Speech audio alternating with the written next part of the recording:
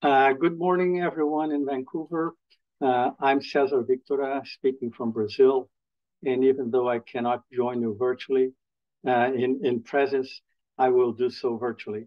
Many thanks for uh, the invitation that I originally received from John Challis. It's a great place, uh, pleasure to be here in this session with Janet, James, and Vikram. Let me move straight into my slides and my presentation.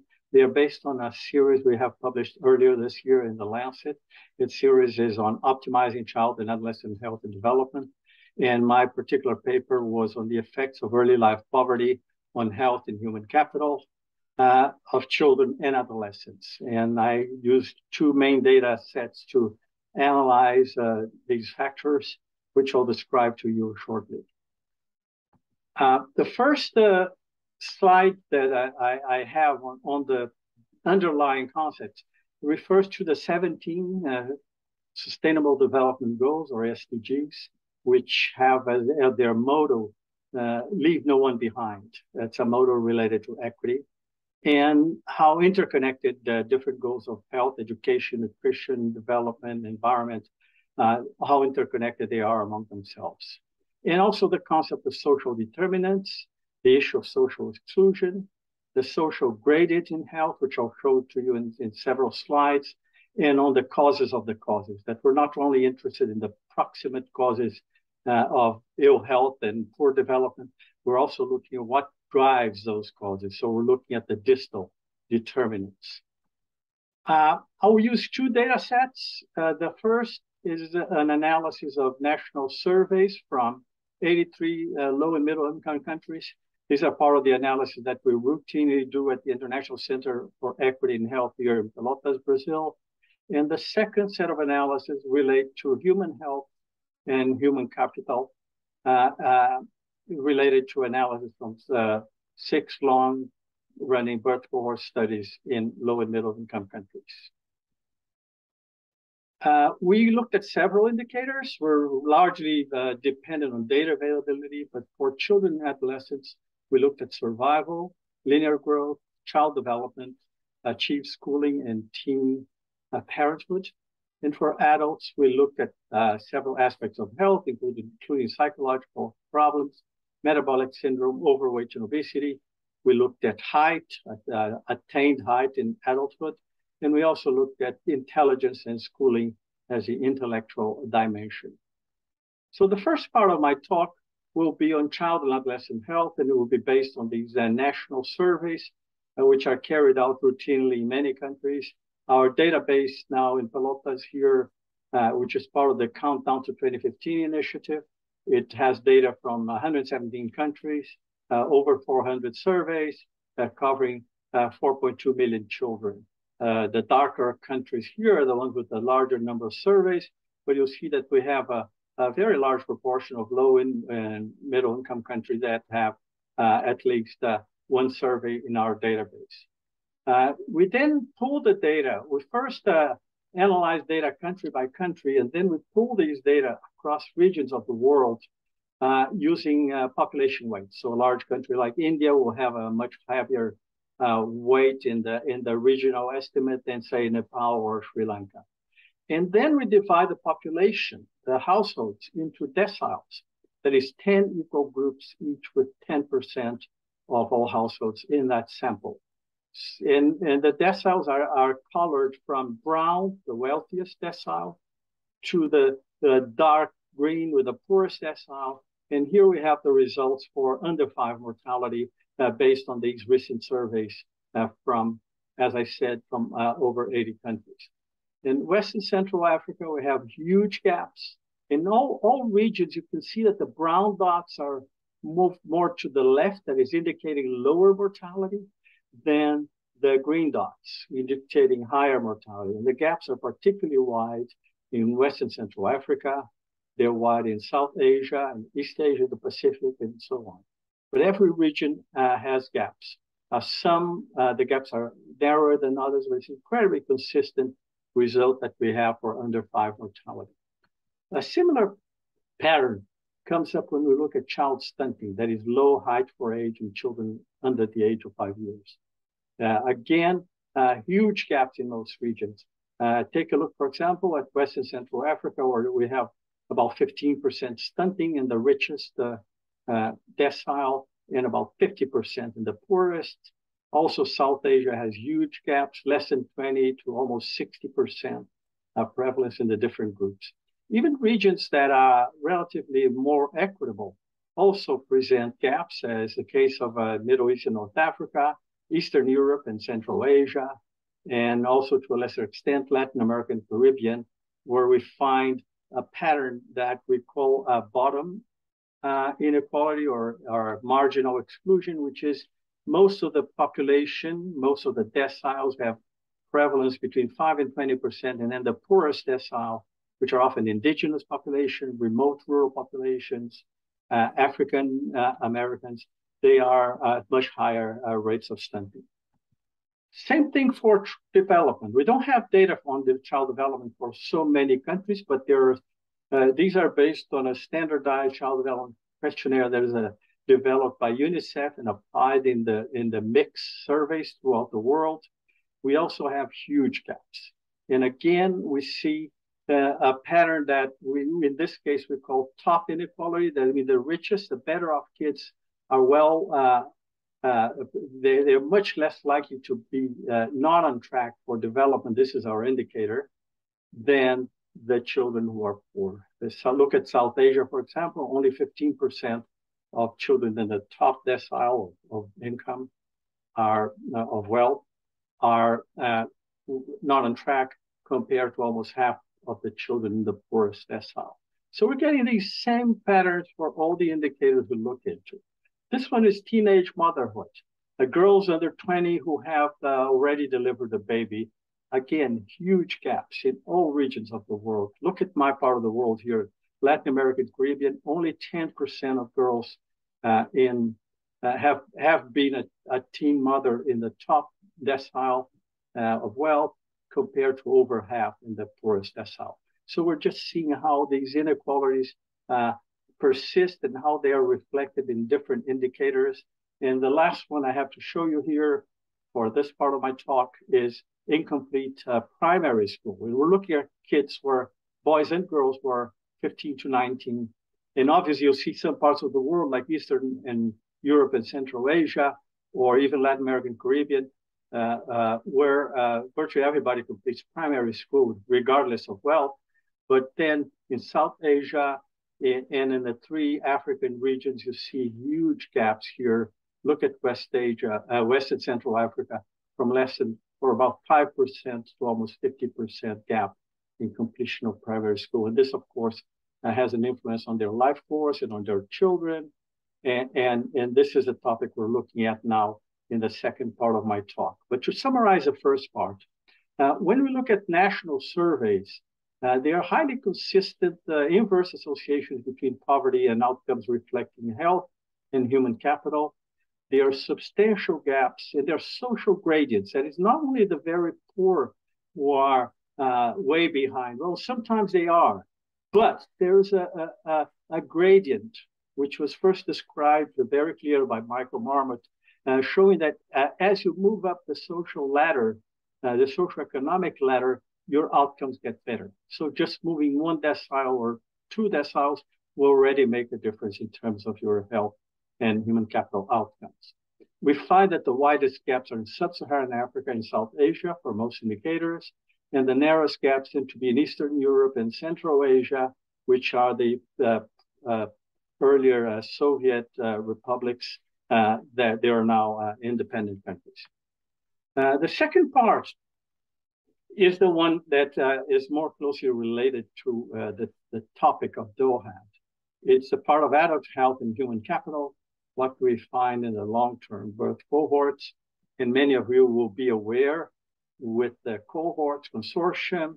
Uh, we launched this in 2006, and our first paper came out in 2008 in another Lancet series on undernutrition.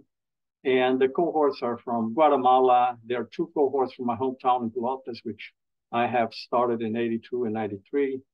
Uh, there's a Soweto cohort, the Birth to 20 study, the Delhi cohort, and the Cebu cohort in the Philippines. Uh, this slide is uh, distorted. The, the size of the countries, uh, the geographical area of the countries are proportional to the number of birth cohorts, the publications they had as, of 2008. And we're now trying to get more publications coming out of the South to uh, address this imbalance in how much we know about life course in, in rich and in poor countries. Uh, the cohorts are quite different. Uh, they uh, were launched, uh, the earliest ones were Delhi and the, the nutrition trial in Guatemala, which in this case, we do not analyze it as a trial, we do analyze it as a cohort, as a birth cohort. Uh, and they were started in 1969. The most recent one is the 1993 cohort in Pelotas. But all, everybody in these cohorts is aged right now around 30 to, to 60 years. And there's a, one important issue here is that some cohorts include all social classes and uh, they're geographically defined and everybody who was born in geographic area is included. And that is mainly Pelotas and Cebu. And so, uh, but uh, other cohorts are more restricted. Uh, as you'll see in a later result, the cohort from Guatemala, they're all poor uh, families in four villages, even though we do see some uh, social gradients. The Delhi is mostly middle class, and uh, birth to 20 is from Soweto, uh, urban poor uh, Black community. And we looked in these cohorts, we looked at the three indicators of, of uh, human capital, uh, schooling, IQ, and height. And we also looked at some indicators of uh, NCDs and mental health. Number one, we were not able to use deciles here. This is because uh, we didn't have sufficient sample size to break down the cohorts, some of the cohorts at least, into 10 groups. So we're looking at quintiles. And the number two, what you see in this is that this is somewhat the reverse of the earlier uh, slides in which uh, the rich are better than the poor, are higher levels than the poor, because here we are looking uh, uh, positive attributes. Uh, in the first part of the slide, we're looking at mortality, stunting, poor child development, so on. So the, the poor had higher values, higher prevalence in the rich, and now it's the opposite. So if we look at adult height uh, for men and women, we have separated these analyses by sex. Uh, we see that, of course, in, in all cohorts, women are shorter than men, but in every one of these cohorts, there are uh, positive social gradients. Soweto is not so clear, but it's still it's it's still there. There, it's a pretty homogeneous uh, group in Soweto. So we see that uh, your attained height in adulthood is is largely driven by poverty in childhood. Oh, I forgot to mention that in all these analyses here, we're looking at early life poverty, uh, which was measured around the time of birth. Uh, and we're comparing that to outcomes that we have measured 20, 30, 40 years later. So it's on the persistent uh, effects of uh, early poverty. If we look at schooling, in every cohort again, the rich have higher schooling than the poor. Uh, huge differences mainly in Pelotas. Uh, some in Delhi, even though Delhi is a pretty homogeneous cohort. Even in Guatemala, where, where, where the quintiles are not that different from each other. Uh, in Soweto, we don't have much difference again because there's sort of a there, there is a compulsory universal secondary schooling and, and uh, in in that community. So again, uh, schooling reflects uh, how much you know, how much you learn, what kind of job you're going to get, and also how well you're going to be able to look after your kids. So it's a really, really important indicator. With IQ, I was really impressed, and this is one of the, the data that uh, most impressed me Every cohort except for Delhi has IQ. In all of them, we have huge differences. In my own cohorts in Pelotas, these are for men and women. They're standardized with a, a mean of 100 uh, separately for, for men and women. And in Pelotas, we have an average IQ in, in, women, for example, ranging from about 92, 93 to 112 by wealth quintile. Similar differences for men. Same in Guatemala, but less marked in Cebu as well. This is really, really important because this is how poverty perpetuates itself. It affects your brain development, as we saw in the results for kids. It affects your nutrition. It affects your earning ability, and that it, then it is transmitted intergenerationally. Psychological symptoms, we did not get such a clear cut uh, uh, set of findings. Uh, we use the SRQ, a self-report questionnaire, a mental health screening questionnaire with 20 points. And here we have the average in each quintile. We see pretty large differences in Pelotas, for example, uh, but we don't see very consistent pattern. In Guatemala, if anything, the better off had higher uh, uh, number of symptoms than the poor, same in Cebu. So there, it was a bit of a mixed bag here. Unlike everything else we've seen so far, the social gradients uh, varied from one cohort to another. Overweight obesity, again, another mixed bag. And look at Pelotas. We're having this pattern here that's emerging in Brazil. The rich men uh, have uh, higher prevalence of, of, overweight and obesity than the poor men, likely due to uh, less physical activity and, and uh, they, they're not involved in manual work. And for women, we're getting uh, the reverse trend here. In other cohorts in Cebu, we still have the sort of a, the early nutrition transition pattern in which rich men and rich women tend to be uh, more affected by overweight than the poor. And it's, it's some cohorts it's all over the place. Uh, so we don't have such a clear-cut pattern. Uh, there is clearly uh, some uh, early determination here, at least in Pelotas and in Cebu. But uh, in Pelotas, it's sex-specific, as the others have described previously. And finally, uh, metabolic signs, again, a bit of a mixed bag. Again, in Pelotas, the, the better off women have fewer metabolic signs. These are five signs that are part of the metabolic syndrome uh, uh, classification, five different signs. And here, how many, uh, the average number of signs they have. Soweto, a similar thing too. The better off are the women are thinner. Again, here in Guatemala, but not much of a pattern elsewhere. So again, a bit of a mixed bag. I'm going to summarize the cohorts because I still have a couple minutes left. Uh, all significant results uh, for human capital uh, were associated with early poverty, mainly shorter height, lower IQ, and schooling. And there is strong evidence for the social gradient in health for height, IQ, and schooling. Very clear, uh, as we saw in the child data. The results for overweight, obesity, uh, and metabolic syndrome, psychological symptoms, were complex. They really reflect uh, changes, nutrition transition, uh, epidemiological transition. These cohorts are at different uh, phases of the, these transitions, and also the intersectionality of uh, early poverty and uh, sex of, of the cohort members. So women having one type of pattern in some cohorts and men having uh, the opposite pattern with richer men tending to have uh, higher prevalence of overweight and uh, and richer women tending to have lower prevalence of overweight. And the strongest associations are in Pelotas where wealth inequality is is widest. Now, just for you to have an idea, the, the income ratio between the top quintile and the bottom quintile Pelotas is about 11 fold. So it's a huge difference in wealth. Uh, rich, rich kids in rich households were brought with 10, 11 times more money than kids in the poorest quintile.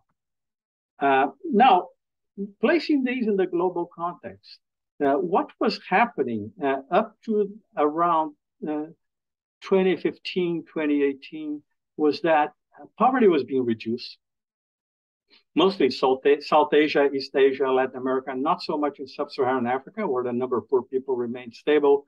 But then we had the COVID pandemic, and that drove uh, estimates. Uh, we estimate uh, half a billion people into poverty. So we're really facing a renewed challenge now uh, with re recovery from the COVID, which is actually, by the way, obviously still ongoing. Summing up, our survey analysis showed that the importance of early poverty in, for child and adolescent outcomes. The birth cohort analysis showed that the importance of early poverty is, is, is long lasting. So it also remains in terms of most adult outcomes we have studied. Because today's children will become tomorrow's adults, we, we can expect this next generation that's now uh, growing up to also show the long-term effects of poverty.